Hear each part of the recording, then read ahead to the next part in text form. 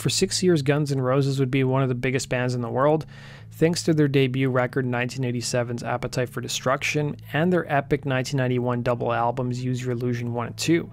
The band spent nearly two and a half years on the road promoting their double album until the summer of 1993. They would put out what would be their final studio album featuring frontman Axl Rose, guitarist Slash, and bassist Duff McKagan in November of 1993, a covers album called The Spaghetti Incident.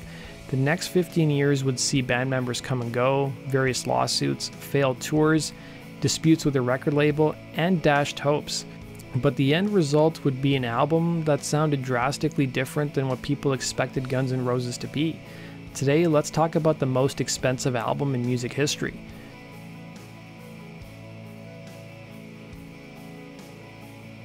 Guns N' Roses frontman Axl Rose would give an interview to Hit Parader in the summer of 1993 where he was asked about the next GNR album, to which he responded, We really haven't sat down to collaborate on songs yet. I've been working on where my head's at on things so I can approach the next record in a way that lets me go to farther extremes.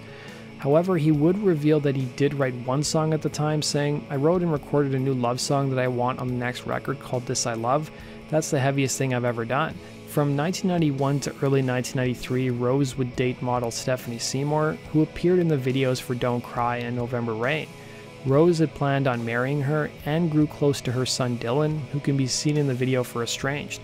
However, the relationship fell apart by early 93 and both parties would sue one another. Rose's failed relationship with Seymour weighed heavily on him, as did the departure of his ex bandmates, and that formed the basis for a lot of Chinese democracy. By late 1993, Slash would end up writing and recording a handful of tracks with drummer Matt Sorum and guitarist Gilby Clarke. We're calling to Metal Edge. We would write these songs in one night. When I first started writing stuff, Matt and I would get together. Here's the riff, here's that riff. We'd finally get from point A to B and put it all together and leave it at that. There wasn't a lot of orchestration like November Rain. There were no vocals on it at that point, but the songs were arranged. It would result in 14 tracks that Slash had by early 1994 that he presented to Axl for what he thought would form the basis of the next GNR album. However, Axl and bassist Duff McKagan would take a profound disinterest in the new material, thinking it was too southern rock. Slash, upset, would take the tracks and started his own side project called Snake Pit, which was made up of Matt, Gilby, frontman Eric Dover, and in Chains bassist Mike Inez. In fact, Slash would write some of the lyrics to the songs, Remarking in his book, I think it's pretty easy to tell which songs he wrote referring to Eric Dover and which ones I wrote. All of my songs are directed at one person, though no one picked up on it at the time. I used the record as an opportunity to vent a lot of shit that I needed to get off my chest. Axl would end up coming back to Slash and wanted to use three or four of the songs, but the guitars claimed it was too late as they had already been recorded. In fact, at one point, Rose threatened to sue his guitarist to get the songs back, but thankfully cooler heads prevailed. Slash would release his first Snake Pit album called It's 5 O'Clock Somewhere in February of 95, and he would tell Rock Hard magazine in 2000 where Axl's head was at musically, saying Axl didn't really care because he only wanted to play industrial and Pearl Jam sounding crap.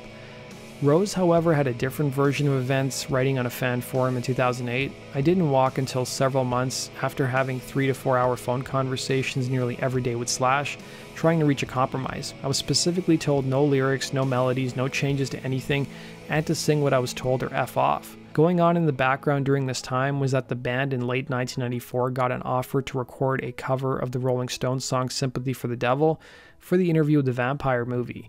Slash had hoped the opportunity would get the band back in the studio and lead to them writing new material, but the effort proved to be futile, as the guitarist told a British interviewer here. Tom Cruise as Lestat? I don't think so. I think it's going to be pretty lousy. But I went to go see the screening anyway, as a favor. And the Stones version was in there at the time. And I thought it's fine, because the movie bored me to tears. I can't stand this any longer. And Axl, of course, always being my nemesis, right, went and saw it and loved it. So he goes, let's do the song. So I thought, well, it'd be a great vehicle to uh, get everybody's uh, uh, creative juices flowing and, and, sort of start getting geared towards the next Guns record. One happy family. Then Axl went on to go do the vocals, and he brought another guitar player with him, who's a guy that's from Indiana who I can't stand. And he sort of added a little rhythm guitar there. But he also put little answers on my guitar solo, my first one. There's two solos in the song. The first one, if you listen to it, you'll hear my guitar and then you'll hear this little tinny little thing in the background. And so that me out.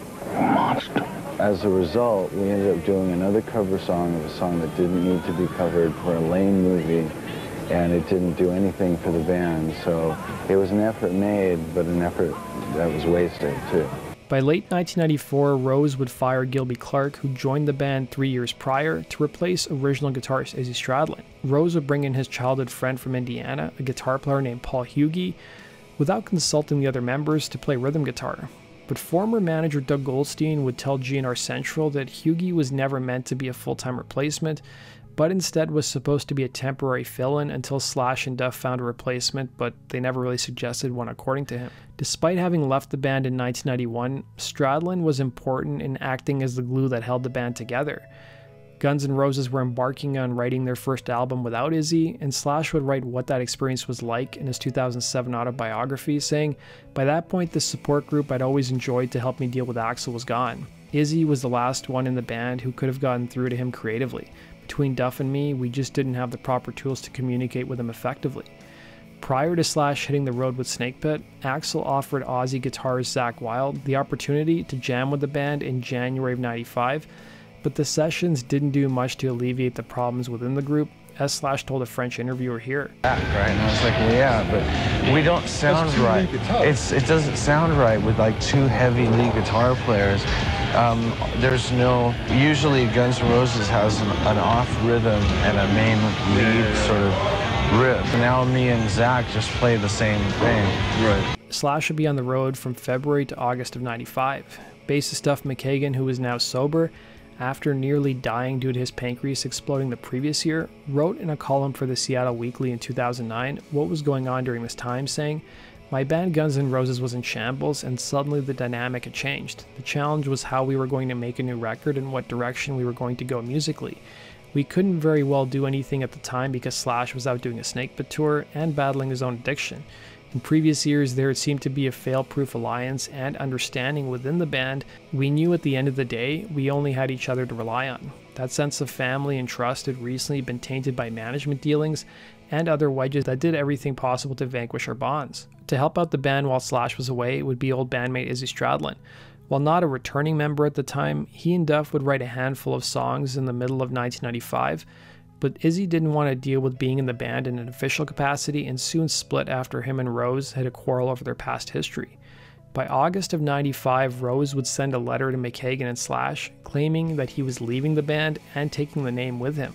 He would form a new band called Guns N' Roses, but Duff and Slash were offered to join, but they could only serve as employees. The band attempted to write on and off throughout the rest of 1995 and 1996, but by October of 96, things were done with Slash and he quit the band. On those final rehearsals with Rose, Slash would remark in his book that there was a lot of jamming, but Axl never sang but merely hung out in the studio. He was soon followed by Duff McKagan, who quit the following year, and Matt Sorum, who was fired after sticking up for Slash during an argument with Rose.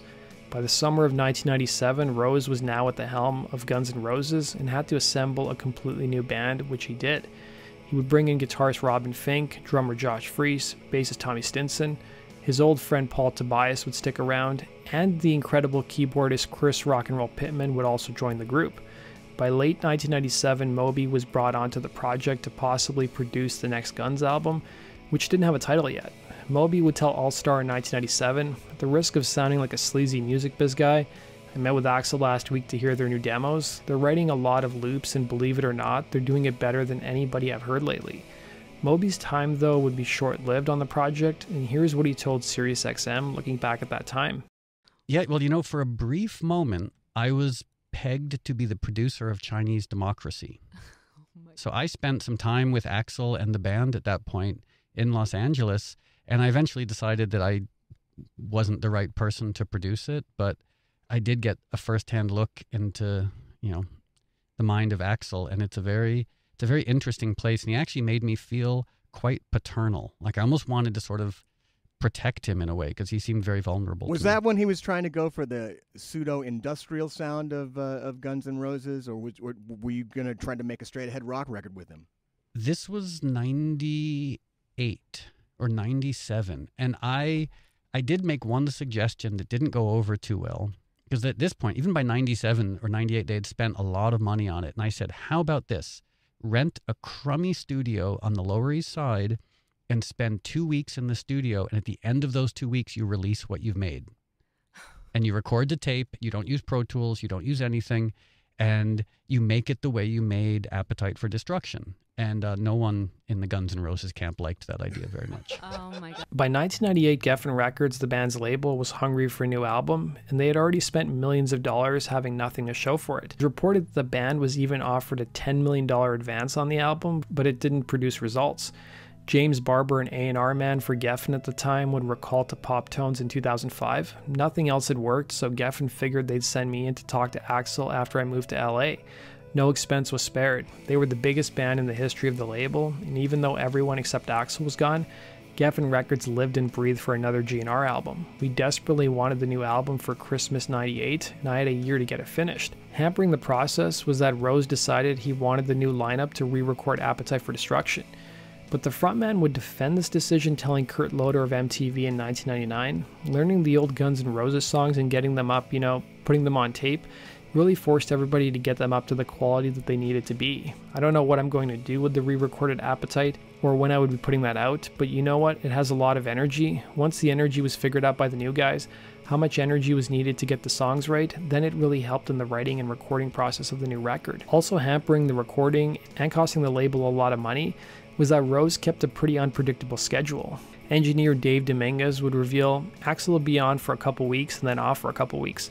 He called in pretty much every day though. He'd ask who was there and what they were doing. He'd say to tell them, I'm coming in, I'll be there in a while. I'd tell the band Axl called and he's coming in. Oftentimes he'd never show up, but then when he did, Axl would show up at 2 a.m. or 2:30 a.m. and no one would be around. He got upset. The New York Times even documented how costs spiraled out of control, writing One internal cost analysis from that period pegs the operations monthly tab at a staggering $244,000. It included more than $50,000 in studio time at the Village. It also included a combined payroll for seven band members that exceeded $62,000, with the star players earning roughly $11,000 each. Guitar technicians earned about $6,000 per month while the album's main engineer was paid $14,000 per month and a recording software engineer was paid $25,000 a month. One of the early producers of the album would be Killing Joke's bassist Youth. Youth would do something that no other label person or even other producer at the time had been capable of doing, and that was getting Axl to sing. He would tell Q Magazine, I went to his house and we started writing songs, strumming guitars in the kitchen. There was a major breakthrough because it got him singing again, which he hadn't done for a long time. He would tell the New York Times in a separate interview he hadn't been singing for around 18 months. I think the record had turned into a real labor. He was stuck and didn't know how to proceed, so he was avoiding it. He had some brilliant ideas, but they were really just sketches. He really wanted to leave the past behind and make a hugely ambitious album like Led Zeppelin's Physical Graffiti crossed with Pink Floyd's Dark Side of the Moon. It was around this time that sketches or ideas of songs were starting to form, including the tracks Madagascar, Prostitute, a tune called Oklahoma, and the Ides of March. While progress with Youth was going well, the producer pushed Rose to begin recording the songs in the studio, something the singer pushed back against, claiming he wasn't ready. Despite being promised extra royalties by Geffen to deliver an album, Youth soon left the project, seeing no end in sight. A&R man James Barber would reveal that by 1999 the bulk of the music was recorded, adding to pop tones. The record just needed a lead vocal and a mix. If Axl had recorded vocals, it would have been an absolutely contemporary record in 1999. 1999 would see Geffen merge with Interscope, and suddenly job cuts hit the label. The people Axl was dealing with would either leave or were fired, and Interscope struggled to really have any hit albums, putting even more pressure on them to get the next Guns N' Roses album out. Added to the mix was that Jimmy Iovine was now on the project, and he wanted more oversight over what Guns N' Roses were doing in the studio and how much money they were spending. The same year would see guitarist Robin Finck leave the group, and Buckethead soon came into the fold, while Queen's Roger Taylor contributed a guitar track to the song Catcher in the Rye. Nine Inch Nails and Marilyn Manson producer Sean Beavan soon joined the project and would be on the album for the next two years. By late 1998, according to the New York Times, Axl would be offered another $1 million advance if he could have the album out by March of 1999, something he obviously failed to do. Disappointed, the label opted to put out a live GNR album to recoup some of their investment. The year 2000 would see more changes. Drummer Josh Freese and Sean Beavan would leave the project, with Freese giving his reason to Podomatic saying, I left because we were in year two of sitting in the studio and the record still didn't look like it was going to be done anytime soon. So I was getting frustrated and discouraged like a lot of people. Queen producer Roy Thomas Baker was brought in to help wrap things up, and Baker spent even more money requiring everything to be re recorded with the New York Times reporting that a few bars of music would take up to 8 hours to redo. It was around 2001 that Axl felt the album was done and ready to mix, but things didn't go that way. Rose would tell Rock and Pop FM in 2001 every time we thought we had the correct songs, then somebody in the record company thought we could make it better. Soon enough, Roy Thomas Baker was off the project, and Rose became the producer of the album alongside Caram Costanzo. 2002 saw the band appear at the MTV Video Music Awards, a performance that was largely criticized due to Rose's vocals. It was following this performance that the band hit the road for their longest tour since the Use Your Illusion days, but things quickly came apart after a dozen or so dates due to mediocre ticket sales and two riots happening in Vancouver and Philadelphia, resulting in promoter Clear Channel pulling the plug. However, fans would get to hear some new tracks from Rose and Company, including Street of Dreams, the title track, and Madagascar.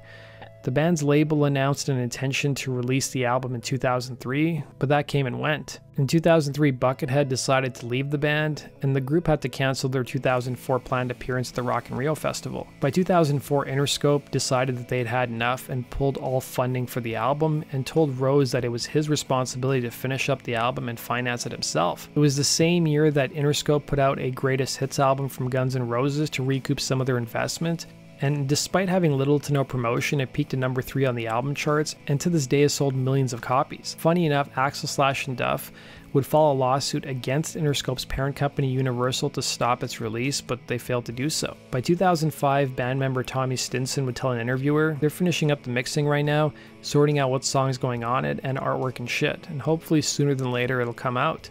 I understand there's probably some European dates booked in the summer. Well, those dates would come and go, and no tour would happen, and the album was once again nowhere in sight. Also, not helping during this time was that there was a lawsuit involving Rose and his former bandmate Slash and Duff over song publishing and royalties. The New York Times would publish an article the same year detailing the making of Chinese democracy, claiming that $13 million had been spent on the album so far. The following year saw the band reveal their new guitarist Bumblefoot, who replaced Buckethead. In 2006, the band toured extensively as it appeared the album was finally on the horizon, with the band debuting a few new songs at live shows. But 2006 and 2007 came and went, and it was in 2007 former Skid Row frontman and friend of Rose Sebastian Bach would tell Blabbermouth, Axl was playing me the new Chinese Democracy album. Actually, there's more than one, there's like four.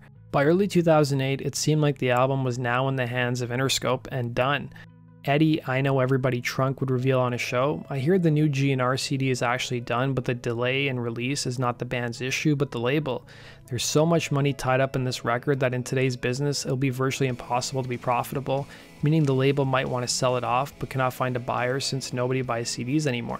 Problem might not be Axl's this time around, and might keep the CD in limbo for years to come. Hopefully, it gets resolved. The same year, Rose would sign with heavyweight manager Irving Azoff, who represented Van Halen and the Eagles, to settle his disputes with his label and help get the album out. A deal would be worked out with Best Buy to sell the album exclusively through their stores in America, and the song Shackler's Revenge, which previously hadn't been heard, would make its debut on the video game Rock Band 2 as an on disc track. November 23, 2008 would soon be confirmed as the album's release date. It would be 15 years to the date since the last studio album Guns N' Roses had put out, which was the Spaghetti Incident. Chinese Democracy would debut at number 3 on the Billboard 200 charts, selling around 261,000 copies in its first week of release. The album's disappointing sales were chalked up due to a lack of promotion by Rose, and the band didn't even bother touring on the album until a year after it came out. In the aftermath of its release, Rose would appear on several Guns N' Roses forums taking fan questions and writing several open letters, putting the blame on the label for not presenting him with a good marketing plan. But to date, the album has sold in excess of 5 million copies worldwide. Chinese Democracy stands as the last studio recording released by the band, who have toured extensively since 2009. Slash and Duff would rejoin Guns N' Roses in late 2015, and the band has been on tour ever since. But the members in various interviews have said that they are working on some of the leftover songs from Chinese Democracy sessions, two of which they've actually released, including Absurd and Hard Skool. Those songs were even performed live by the band to this very day. So let me know in the comment section, guys, what your thoughts are on the album. And as always, be sure to hit the like button and subscribe if you haven't done so. Take care.